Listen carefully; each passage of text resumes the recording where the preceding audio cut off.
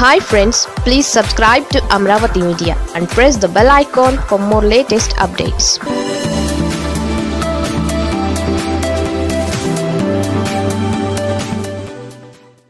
Jagan appointment కోసం ఈ సినీ నటి వెయిటింగ్ జగన్ పార్టీకి సినీ గ్లామర్ బహు తక్కువ.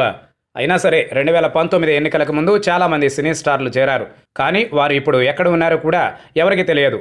రాజ్యసభ సీటు కోసం మోహన్ బాబు బాగానే ట్రై చేశారని అది జగన్ ఇవ్వలేదని ఆయన అలిగారని చెబుతారు. ఇక సీనియర్ కమెడియన్ ఆలీ ఎమ్మెల్సీతో పాటు మంత్రి పదవి మీద ఆశ పెట్టుకున్నారు.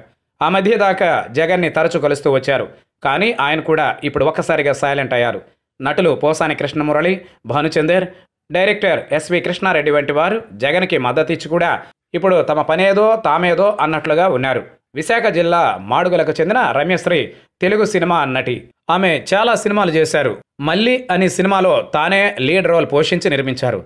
ఆమె వైసీపీకి మద్దతిచ్చి రెండు వేల పంతొమ్మిది ఎన్నికల వేళ ప్రచారం చేశారు. ఇక్కడ విశేషం ఏంటంటే ఆమె సోదరుడు గవిరెడ్డి రామనాయుడు టీడీపీ తరఫున రెండు వేల తొమ్మిది ఎన్నికలలో ఎమ్మెల్యేగా గెలిచారు. మరో సోదరుడు రెండు వేల పంతొమ్మిది ఎన్నికలలో జనసేన తరఫున పోటీ చేశారు. ఇంటిలో వేరే పార్టీలు ఉన్నా కూడా రమ్యశ్రీకి జగన్ అంటే ఇష్టం. అందుకే జగన్ మళ్ళీ రెండు వేల ఇరవై నాలుగులో ముఖ్యమంత్రి అవుతారని ఆమె ధీమాగా చెబుతున్నారు. ఇదిలా ఉంటే తాజాగా జరిగిన నామినేటెడ్ పదవుల పంపకంలో తనను జగన్ గుర్తించలేదు అన్న బాధ ఏమీ లేదని ఆమె తాజాగా చెప్పుకొచ్చారు. జగన్కి ఎవరికి ఏమివ్వాలో తెలుసు అని ఆమె అంటున్నారు. సరైన సమయం వచ్చినప్పుడు తనకు కూడా అవకాశం ఇస్తారని ఆమె నమ్మకం పెట్టుకున్నారు. ఇక తాను స్వచ్ఛంద సేవా సంస్థ ద్వారా ప్రజలకు సేవ చేస్తున్నాను అంటున్నారు.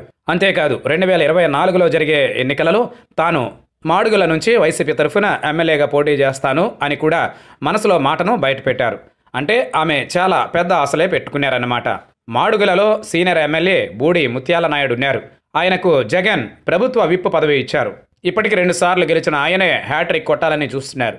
ఆయన మీద ఎటువంటి మచ్చ లేదు. జగన్ కూడా ఆయన పట్ల మంచి అభిప్రాయంతో ఉన్నారు రెండు వేల పద్నాలుగు నుంచి రెండు వేల పంతొమ్మిది మధ్యలో టీడీపీ ఎన్ని ప్రలోభాలకు గురి చేసినా కూడా ఆయన లొంగకుండా పార్టీలో ఉన్నారు. దాంతో ఆయనకే మళ్ళీ జగన్ టికెట్ ఇస్తారని అనుకుంటున్నారు. మరి రమ్యశ్రీ కనుక ఆశలు పెట్టుకుంటే జగన్ ఆమెకు ఎంత మేరకు అవకాశం ఇస్తారు అన్నది చూడాలి. ఏది ఏమైనా సినిమా వారికి వైసీపీలో ఛాన్సులు తక్కువే అన్న మాట అయితే ఉంది మరి.